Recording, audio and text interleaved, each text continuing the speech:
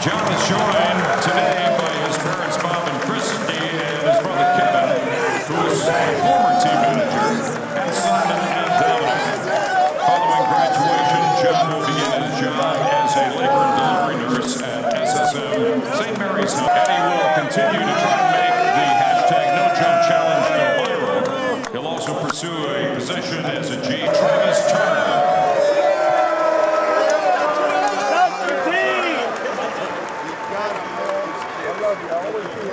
And from Collinsville, Illinois,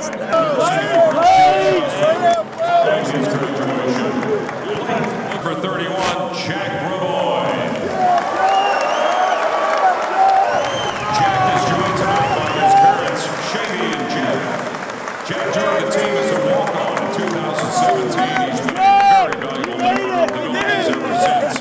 He began his collegiate career playing in his hometown of Mattoon, Illinois, at Lakeland Community. Tay is joined on the court tonight by his mother, Robin Lee, sister, Danita, and granddad, Archie Speaks. Tay had a great career at Eastern Kentucky University before coming to the Billikens as a graduate for the season. With the Billikens, he's appeared in all 31 games and is second on the team with 32 three-pointers. He entered today's game First off, I just want to thank my family, my parents, and everyone else that's up there. Um, they've been supporting me since third grade with this dream, and to be able to come to SLU and play Division One basketball is, I mean, it's bigger than I ever could have imagined. So thank you for everything you did for me, all the drive day, U tournaments, and for coming to all the games here. That was awesome. Um, next, Coach Ford and Coach Tate. I mean, they believed in me. Ran into Coach Tate at the airport on the way to the Final Four, and that's where this all started. So thanks for taking a chance on me, guys. Um, your whole staff. I mean, every day in practice, they just teach me through the, or walk me through the drills and everything like that. They've been huge for me. My teammates. You guys mean the world to me. You guys are always brothers. It's been amazing.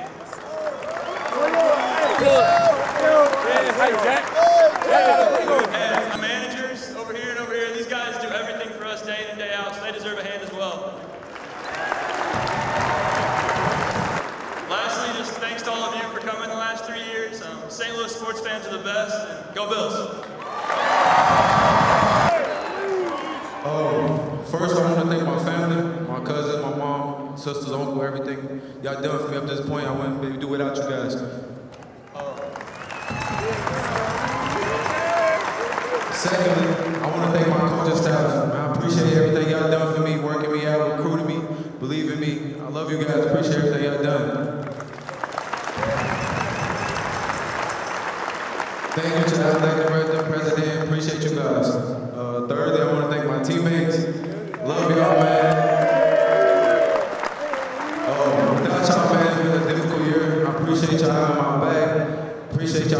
The ups and downs.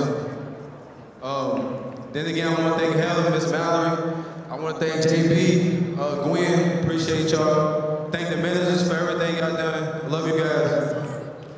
Last but not least, I want to thank the fans. I appreciate y'all supporting me through my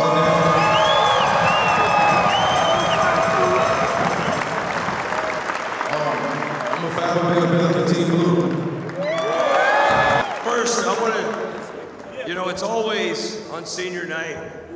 It's always uh, an emotional time. It's a, it's a time to reflect because all these young men here, they all come from different backgrounds, different areas, but we all ended up at St. Louis University, and you'll be leaving as Billikens. And